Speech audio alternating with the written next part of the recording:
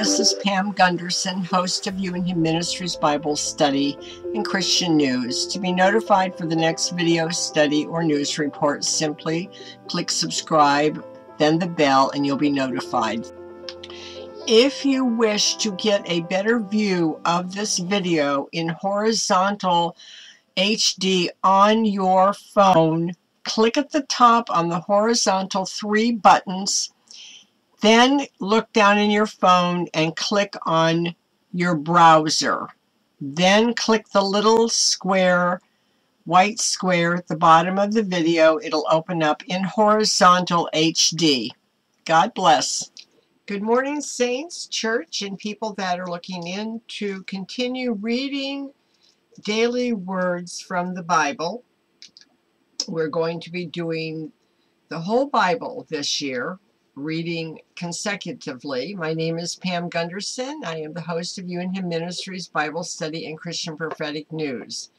Today's reading is January the 8th, and it's Genesis 15, verse 1 through chapter 16, verse 1 through 16, Psalm 5, verses 1 through 7, Proverbs chapter 2, verses 6 through 9, and Matthew chapter 6, verses 19 through 34.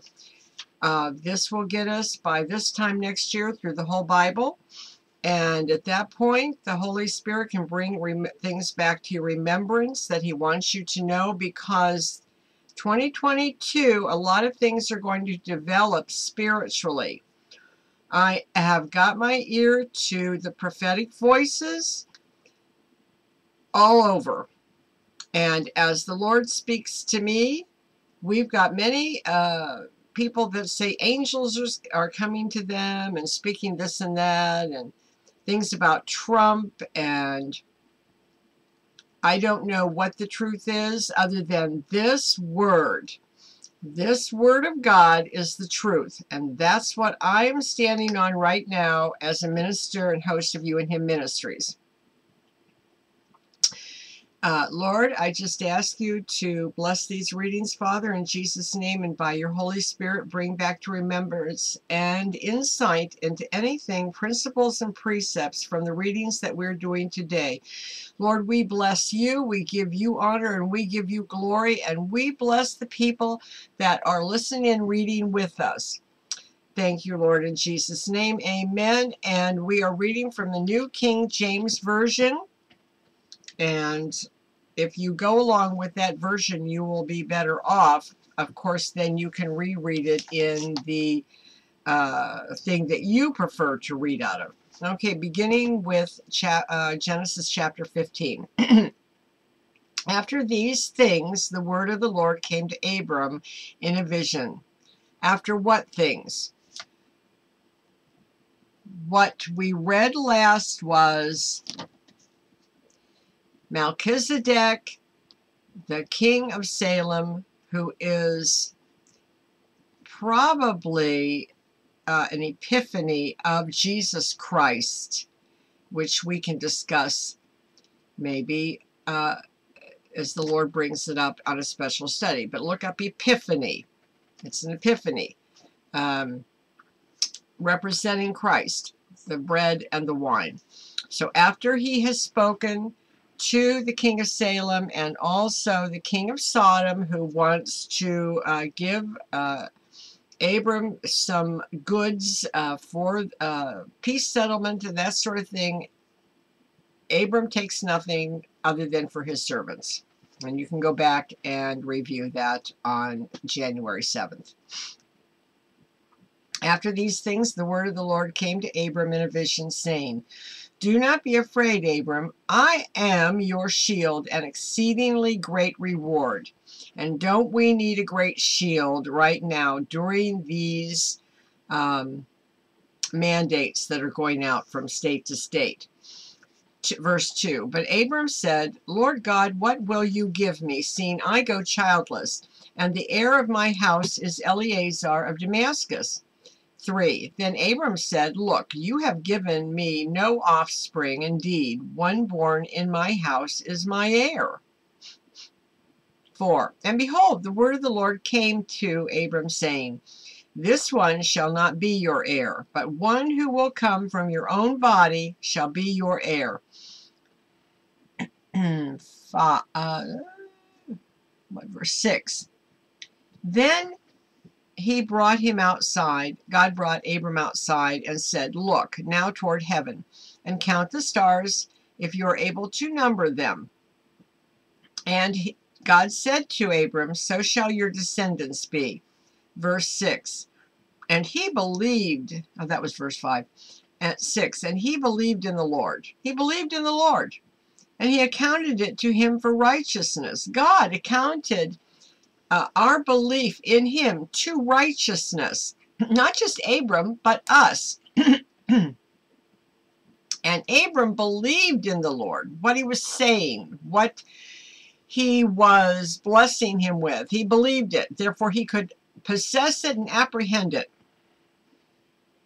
7. Then Abram, then God said to Abram, I am the Lord who brought you out of Ur of the Chalde Chaldeans to give you this land to inherit it. Verse 8. And he said, Lord God, how shall I know that I shall inherit it? How shall I know? Abram's asking the Lord. 9. So the Lord said to him, Bring me a three year old heifer, a three year old female goat, a three year old ram, a turtle dove, and a young pigeon. Wow. Uh, so, you know, Abram's got to do some work in collecting these things. Uh, we know he has, uh, has cattle, but he's got to find out which one's three years old, which one's a female. a turtle dove and a young pigeon. And verse 10, then he brought all these to God and cut them in two down the middle and cut them in two down the middle and placed each piece opposite the other. Uh, but he did not cut the birds in two. 11. And when the vultures came down on the carcasses, Abram drove them away. 12. Now when the sun was going down, a deep sleep fell upon Abram, and behold, horror and great darkness fell upon him. 13. Then he said, then God said to Abram, Know certainly that your descendants will be strangers in a land that is not theirs, and will serve them, and they will afflict them 400 years. Now that is most likely uh, when uh, the Israelites or the Hebrews went to Egypt before Exodus. 14. And also the nation whom they serve I will judge.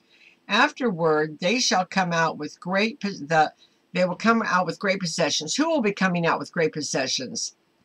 Uh, Moses bringing the Jews out of Egypt.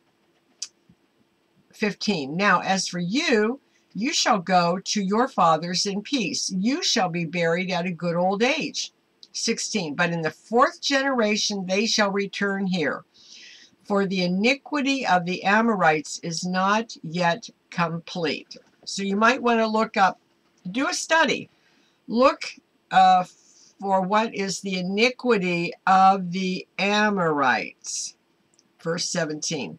And it came to pass when the sun went down and it was dark, that behold, there appeared a smoking oven and a burning torch that passed between those pieces. 18. On the same day the Lord made a covenant with Abram, saying, To your descendants I have given this land, from the river of Egypt to the great river, the river Euphrates.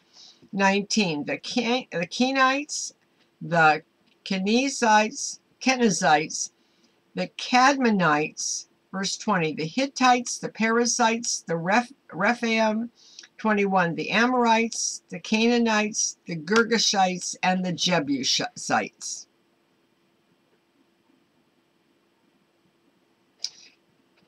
Chapter 16. Now Sarai, she hasn't gotten her Sarah yet. She's Sarai with an AI. Abram's wife had borne him no children, and she had an Egyptian maidservant whose name was Hagar. 2. So Sarai said to Abram, and, you know, we always come up with a good idea. Oh my God, God hasn't done anything yet, so I'm going to come up with my good idea because he must have meant when he said I was supposed to have great wealth, I guess I'm going to go collect it from, oh, I don't know, um, a casino, a lottery ticket. God can speak anything he wants to to you, but you might want to come up with God's good idea, not yours.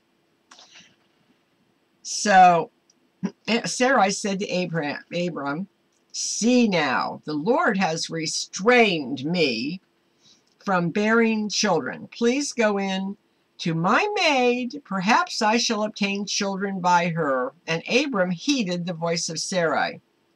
Husbands, be careful at adhering to your wife's advice, especially if they're not and you, uh, you are unequally yoked, and vice versa with a woman. If you are un, uh, uh, yoked with an unbelieving husband, because a lot of you got saved after you got married. A lot of you were not born again when you got married. You didn't know God could put you, and some of you are preacher's kids some of you are preachers' kids that ran from God because you had so much preaching going on in the house. You decided to see what the world had to offer. All kinds of different things are going on. But you be uh, you listen to what God says, then you can have a discussion with your spouse, with your mate, as long as you're married, not living with someone.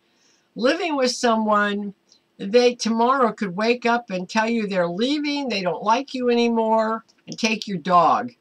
Uh, so be very careful at what you are adhering to. You want to adhere to what God is saying. If you get a check in your spirit, don't do it.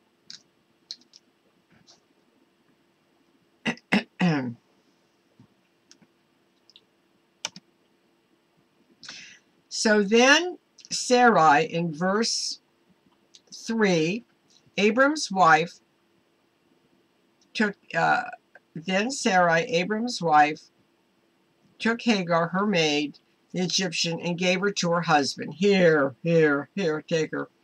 Abraham, Abram to be his wife. After Abram had dwelt ten years in the land of Canaan. Verse 4. So he went in to Hagar, and she conceived, and when she saw that she had conceived, her mistress became despised in her eyes. And that's the way it goes, folks. It isn't any different today. Nothing new under the sun. Solomon told you that. Nothing new. Then Sarai said to Abraham, My wrong be upon you. Oh, really? You listened to me now what I it was all wrong and now I'm blaming you for it. You fornicated. You committed adultery with my maid. You shouldn't have listened to me. Is pretty much what she's saying. My wrong is upon you. I gave you my maid into your embrace, and when she saw that she had conceived, I became despised in her eyes. The Lord judge between you and me. Can you imagine?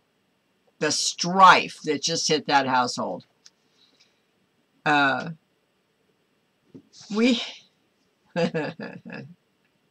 we have instances where a, a, woman can't bear a child, so her husband and her decide to get a surrogate uh, mother. Even I've heard some uh, uh, the wife's uh, mother or the mother-in-law decided to carry a baby for them um, I guess it was in vitro injections, that sort of thing. Is that really God's idea? If if you're supposed to have a child, do you not think that God is big enough to give you a child? I remember I would like to have had a son, but I didn't get a son. However, I have some spiritual uh, sons uh, because he must have known I wouldn't have been that great or it wouldn't have been healthy for me, or whatever. Why don't we listen to the Lord? What is wrong with us? Seriously, folks. Why do we put our desire above God's best for us.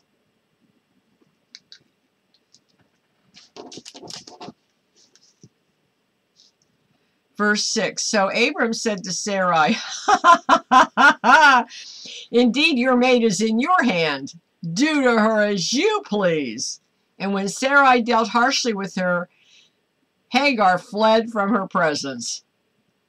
Verse 7 Now the angel of the Lord found Hagar by a spring of water in the wilderness, by the spring on the way to Shur. Verse 8 And he said, Hagar, Sarah's maid, where have you come from and where are you going? Sarah said, or Hagar said, I'm fleeing from the presence of my mistress Sarai. Verse 9 The angel of the Lord said to her, Return to your mistress and submit yourself under her hand. Verse 10 Then the angel of the Lord said to her, I will multiply your descendants exceedingly, so that they shall not so that they shall not be counted for multitude. Verse 11 And the angel of the Lord said to her, Behold, you are with child, and you shall bear a son. You shall call his name Ishmael, because the Lord has heard your affliction. Okay, remember, when we're praying for someone and they are in affliction, that is a different command to that demon or that um, thing that is causing the problem than a sickness or a disease. Affliction is not necessarily disease. An affliction is uh, almost like, it could be like the thorn in the flesh that Paul had. Something that you are afflicted, but you are going to obey the Lord through the affliction. You are not dying you have an affliction that very well could have been sent by the Lord to see how obedient you're going to be in order to get the blessing ultimately. That's my um, bent on it. You may have a different view. Comment. Remember, comment. Thumbs up. Comment. Go to the end so the analytics can push this through and suggest these readings to third world countries, anyone that's looking in on Facebook or YouTube. God will bless you. I may be your affliction that God has put before you. But if you will obey and do what it is that we have to do in order to get the word out, you will apprehend the blessing. Not me, but you and the people that God wants to save and hear the word who may or may not accept the Lord through the word, but at least they can't go to him and say, well, we didn't know. We never heard the word. Yes, Sister Pamela was reading it every day in 2022, and you wouldn't listen. Okay, and we know that this multitude of people is now our affliction. They're Muslims. Her affliction has become our affliction. And we must pray that the Muslims get saved.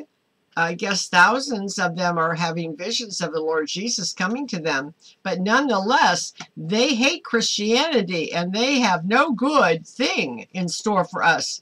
And we need to pray. Verse 13. Then Hagar called the name of the Lord who spoke to her. You are the God who sees. For she said, Have I also here seen him who sees me? Uh, I'm sure that there is a Hebrew uh, name. It could be Rofi, um, Zidkenu. We know Jehovah Jireh is uh, a provider. And so she, her word is, you are the God who sees. Somebody want to look that up and give it to us in the Hebrew down in the comment section? Verse 14. Be the hero today. Find out who that is, what God's name is uh, in the Hebrew. You are the God who sees. It's in verse 13 of, of Genesis 16. Okay? Have I also here seen him who sees me? 14. Therefore the well was called Beer Lahai Roi Observe, it is between Kadesh and Bered. Verse 15. So Hagar bore Abram a son, and Abram named his name, whom Hagar bore, Ishmael. Verse 16. Abram was 86 years old when Hagar bore Ishmael to Abram. I will say, I don't know if I was stark raving mad. I was not born again, but I was saved, but I wasn't living for God. I had accepted the Lord by sinner's prayer. As I said before, the sinner's prayer is not going to save you. Living for the Lord is going to save you. You have to work it out. But when I was in the hospital, I heard a voice say, name her Hetty. Hetty is short for Mehetabel, and Mehetabel is in the Bible, and an angel of the, well, the Lord actually came to my room and uh, said to me, Pamela, you uh, were upset with me because uh, you, all of your Christian friends had children who had biblical names, and you were upset with me because uh, your child did not have a biblical name, and you listened to the person who came to your room. Well, I'm giving you the fact that it's short for Mehetabel that is in, and she is. Um, she was the mother of Pau who had uh, some kind of withholding thing when they were building the temple, and the Lord said, Your daughter has that anointing on her. And I was able to share that with her when she came to visit me that week because God knew she was coming, and I was thrilled. I remember, oh my gosh, that is so wonderful. And what's really funny is I didn't read this beforehand, and the Lord brought that up to me this morning about the angel that had uh, come to me. Uh, uh, the Lord had come to my room. I've had uh, an angel, and I have seen uh, the Lord. I've heard His voice, and I've heard His voice twice, uh, giving instruction. So I would love to have angels flying in and out, giving me, and that could happen as we go. But when I hear someone say, an angel came to me and said this, this, this, and this, I can't disbelieve them because I know that I've had such an experience. Not to prophesy to anybody, but to me. It had nothing to do with tell the people. No, wasn't tell the people. No, wasn't that. It was you and I did this and I want you to do this, but it had nothing to do with anybody else. And one word that I got, and I was not reading the Bible, and I know I never read it before my whole life. Never until recently I saw it in Scripture, the word that the Lord gave me back when I was 29, um, how old was I? 20, going into 21 and started working for Roadway Express. You shall never taste of death in this life. I'm coming back for you. I hold on to that promise, and all of a sudden, it's in Scripture. I read it the other day. I'm like, that's in Scripture. I know I never read that. I don't think I ever heard it in a church. Very seldom does a pastor read Scripture from the pulpit anymore, and back then they might have, but my the Holy Spirit would have had you brought it back to my remembrance, but I wasn't going to church. I was not going to church. That was the farthest thing from my mind. I was busy becoming a famous opera singer and uh, had just gotten married. Forget about church. You got to be kidding. No, not at all. I was having a good time. Not that I'm not now, but my idea of a good time when I was 20 and 21 years old had nothing to do with God's destiny for my life. None. And when I heard that voice cross my desk, I couldn't believe it. And things happened after I heard that voice. It set something in motion. So we can hear the voice of the Lord. Psalm 5, verses 1 through 7. Give ear to my words, O Lord. Consider my meditation. 2. Give heed to the voice of my cry, my King and my God. For you I will pray. Verse 3 My voice you shall hear in the morning, O Lord. In the morning I will direct it to you, and I will look up.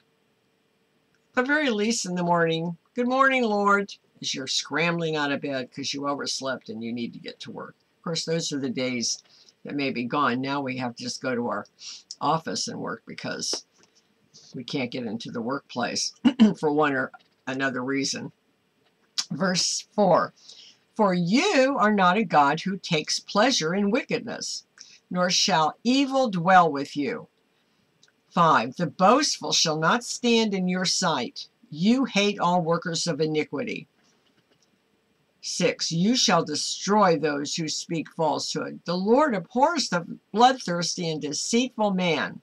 7. But as far for me, I will come into your house in the multitude of your mercy. In the fear of you, I will worship toward your holy temple. I'm reading and I'm hearing the Lord. I just heard Marilyn Hickey. Why am I hearing Marilyn Hickey?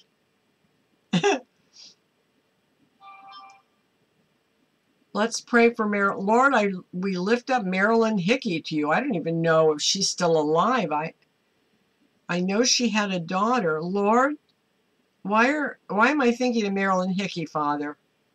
Lord, I lift her up to you. Your blessings on her, Father, in Jesus' name. I believe she was a minister on TBN. Lord, I don't know what she's doing, but God bless her. Your perfect will on earth as it is in heaven on Marilyn Hickey's life. Proverbs 2, verses 6 through 9. Verse 6 For the Lord gives wisdom, from his mouth come knowledge and understanding. Verse 7 He stores up sound wisdom for the upright. He is a shield to those who walk uprightly. Repeat this. He is a shield to me who I, as I walk uprightly. The Lord God is my shield as I walk uprightly. He guards the paths of justice and preserves, preserves the way of his saints. He preserves my way. The Lord preserves my way.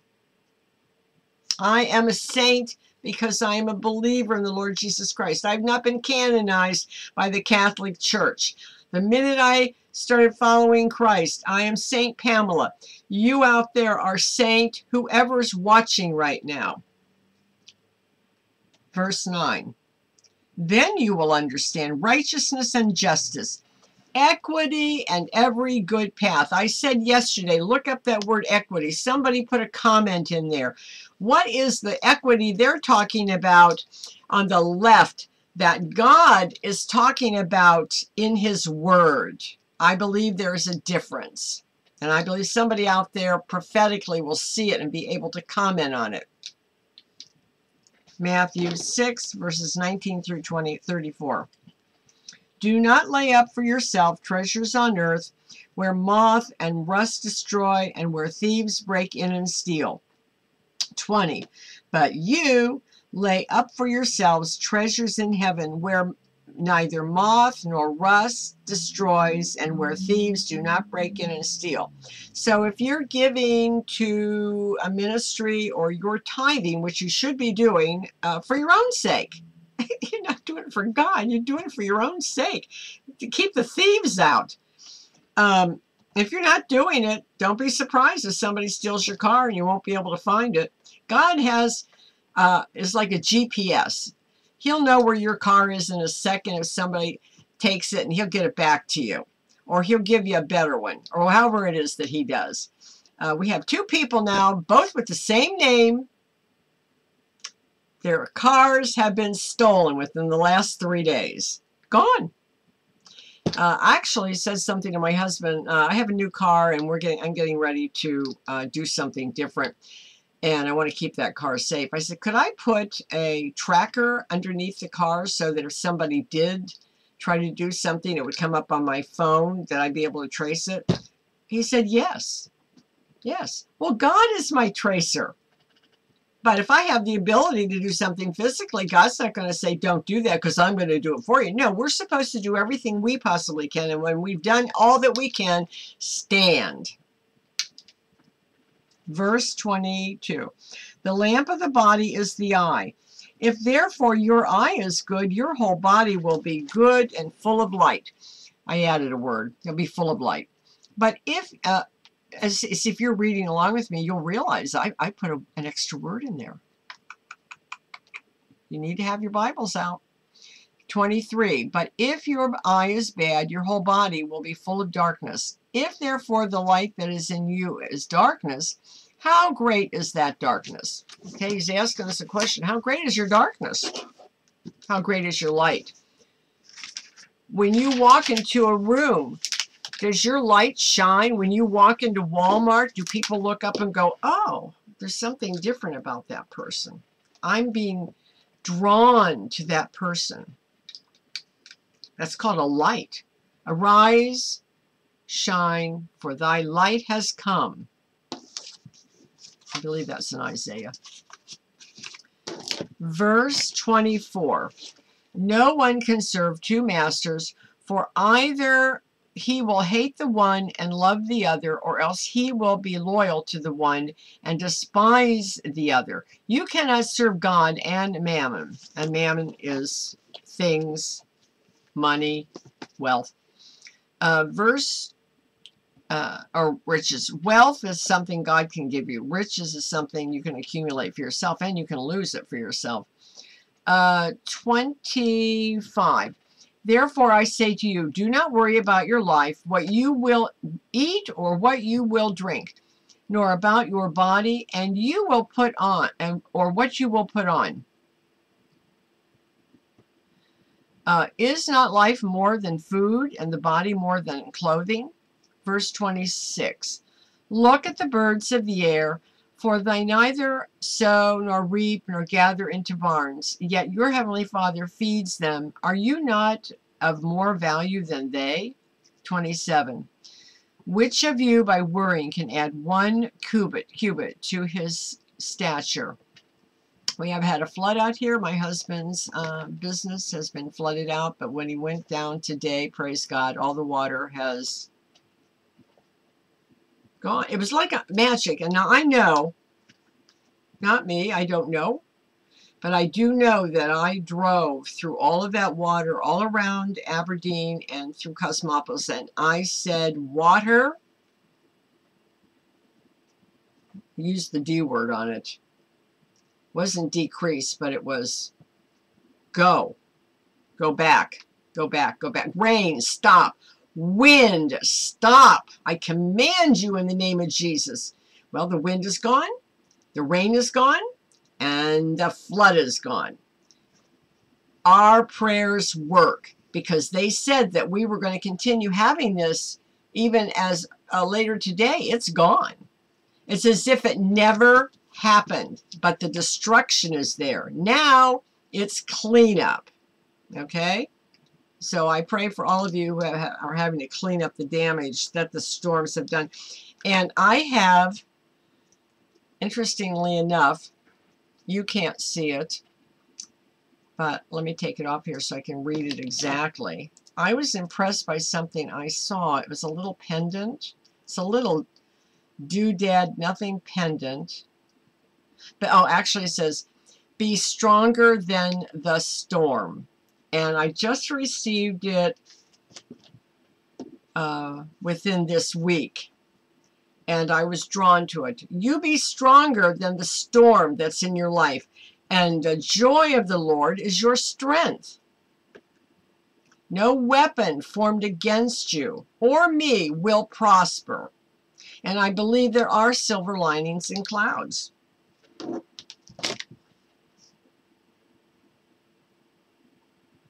Verse 28. So why do you worry about clothing? Consider the lilies of the field, how they grow. They neither toil nor spin. 29. And yet I say to you that even Solomon in all his glory was not arrayed like one of these. 30. Now if God so clothes the grass of the field, which today is, and tomorrow is thrown into the oven, will he not much more clothe you, O you of little faith. Verse 31. Therefore do not worry, saying, What shall we eat, or what shall we drink, or what shall we wear? Verse 32. For after all these things the Gentiles seek. For your heavenly Father knows that you need all these things. 33. But seek first the kingdom of God and his righteousness, and all these things shall be added to you. 34. Therefore, do not worry about tomorrow, for tomorrow will worry about its own things. Sufficient for the day is its own trouble. Don't look for it, it'll come. Don't look for it tomorrow, it'll come. But the word concern, you can be concerned for your children, loved ones, raise them up to God. I praise the Lord that he keeps his promises to me as he will keep his promises to you. They're all in the Word. And if you're not reading the Word, then you don't know what his promises are for you. I thank anyone who's listening in. Keep the faith. Be persistent in our reading, and you will be blessed, as I'm being blessed by doing this discipline. It will be every day, and I will unless uh, something tragic happens that I cannot get to this uh, computer or to um, this camera. Lord, uh, actually, Jude, let me look up, um, uh, see if I can find this. For some reason, this is not working right. Huh. Of course not, because I'm trying to do something. Let me put this on another thing. Uh, how are you all doing today, anyway? okay, let me try this again. Okay, now it's working. I'm having trouble with my the mouse. I want to go to Blue Letter Bible. And I want to look up Jude. I'm being reminded that you people need a blessing. And let's see what Jude does.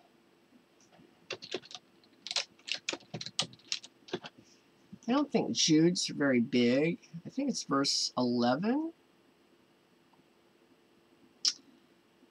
Uh, there we go. Now unto him that is able to keep you from falling, and to present you faultless before the presence of his glory with exceeding joy. Jude 1 24. Jude 25, To the only wise God our Savior, be glory and majesty, dominion and power, both now and forever. Amen. Lord God, I ask that you bless these people and you bless these readings, Lord, that we do the word, not just hear or read the word. And if anyone there uh, is not born again or saved, you have my contact information at the end of this video. As I said before, the sinner's prayer does not save you. It is obeying the word of God. It is prayer and reading the word and following Jesus. I have a sinner's prayer that I can say, but it would make these two. Uh, you can call me and I'll be more than happy to pray with you individually. uh, you can make a comment down in the bottom, but uh, it, um, you can get a hold of me at pam at youinhimministries.com or you can call me at 833-726-8255 and you'll see everything at the end. At the, um, which way am I going? The end of the video. Comment, please. Subscribe. Uh, put a like so that these uh, videos and the analytics will uh, not shadow ban us. I wish you a good day, and I will see you on January the 9th. God bless. Oh, and school starts this Monday on the 10th, not the 17th. So I will be very busy. So if you can get a hold of me, uh, leave a message at the 833 number uh, and I will get back to you, or leave a message at uh, youinhimministries.com in the chat or email section, and I'll contact you back that way. God bless you, and you have a blessed day in our Lord Jesus Christ, Jesus Christ Lord Christ Jesus. Bye bye.